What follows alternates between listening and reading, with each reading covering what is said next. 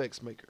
This is a really nice plugin for Unity because it allows you to not only have a bunch of base particles that you can use at any time, but also allows you to build on top of those.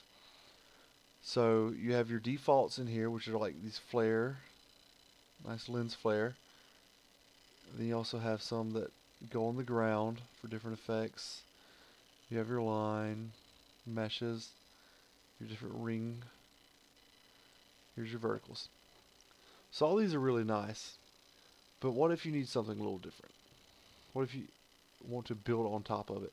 That's what makes this a really cool asset because you're able to have your own separate project files up here that are also separated in groups but then you get to make your own little particles so here I've made a little trail particle that has like little bits coming off of it and the idea for this particle was I needed something that looked like it was drawing a line so this particle when it moves depending how fast it moves it draws a line behind it as you can see so if it's kind of slow, it has a small line, but depending how fast it is, it has a bigger line. And the little bitty particles emitting from it kind of follow behind it. So it makes a nice little kind of fairy effect. And then there's also a firework effect. As you can see this one, it's launching up in the air and then exploding. And the way you're able to do this in here is I took one effect, which is this trail line right here, and you're able to go into this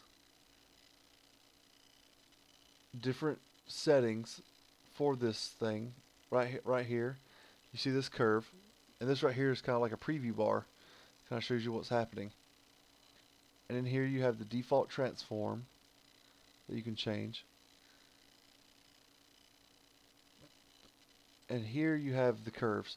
This is really cool because instead of having to like fidget it with the default Unity every single time you want to get a certain shape, this one has a lot of preset shapes in here.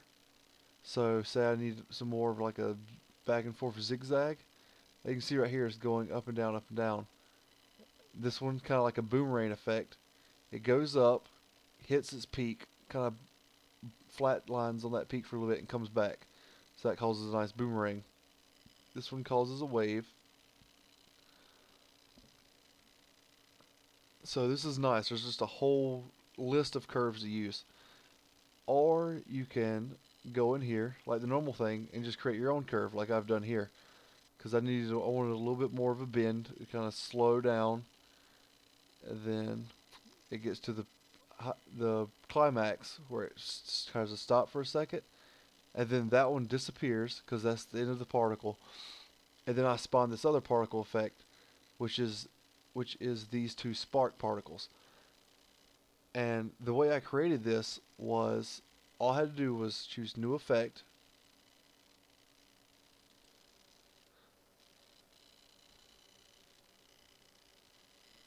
And I start out with the base default.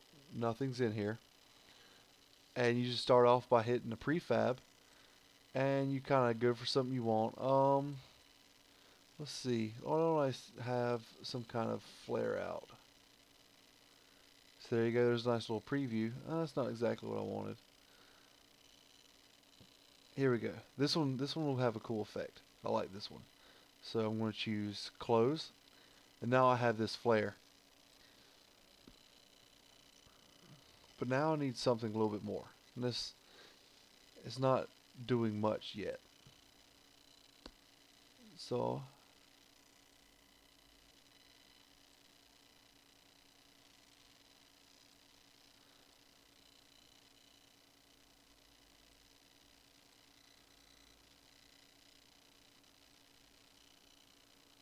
Mm, I'm gonna duplicate it.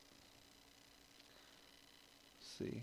You see it's just doubling up on the same thing. But now I don't want that same one.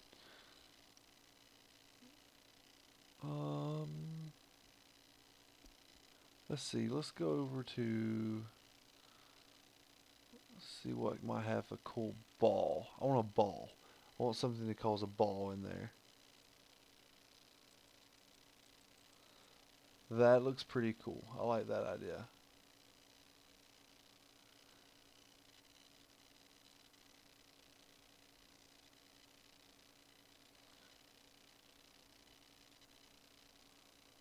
Oh, that's that's that's the, that's the effect I want right there.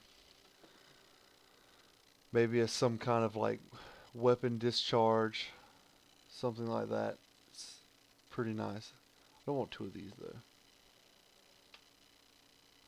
That's the only downside of this. See, I messed up and I can't undo it now. So, but it's not a big deal. I got exactly what I wanted back.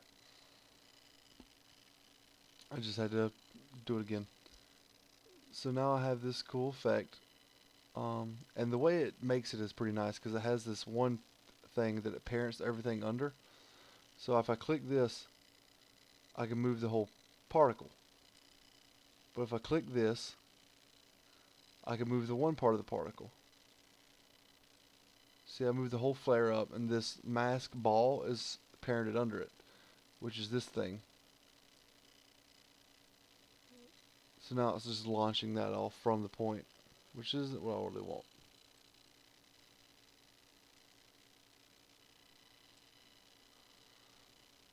And you see how I have this all up here now?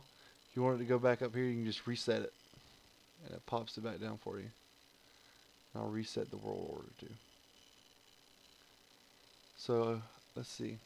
Also created a regular fireworks effect. So if something goes right, like aim for like a child's kind of game. Something goes good and correct. This just fires off. Same thing with this. This was I wanted to make a projectile kind of space weapon. This is what I was playing with. So I'm able to have this trail zigzag back and forth over the main projectile that fires straight. So the really the main limit on this program is just what your imagination can come up with. It's it's a really fun thing to play with.